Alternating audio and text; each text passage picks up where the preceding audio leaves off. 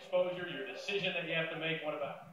I mean, it's just to let the Raccoon people know that what I can do when I get the ball in space. So I'm very aggressive outside of space. What schools are you down to right now? We mentioned a handful, but, but who's in your final list? Uh, I haven't thought about that yet. When do you hope to make a decision? Um, hopefully signing day. Congratulations on a great game. Thank you.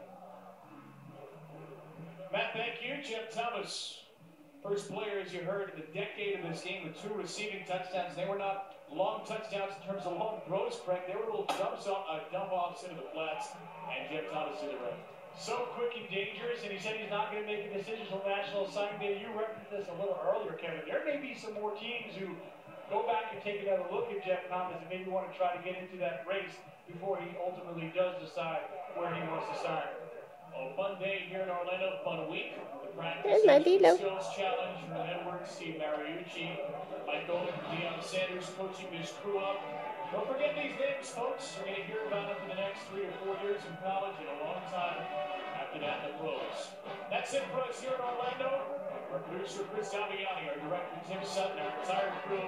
Matt Brian. Morgan Bell, Brent Hubbard, I'm Kevin Brown. From Orlando. That was Williams.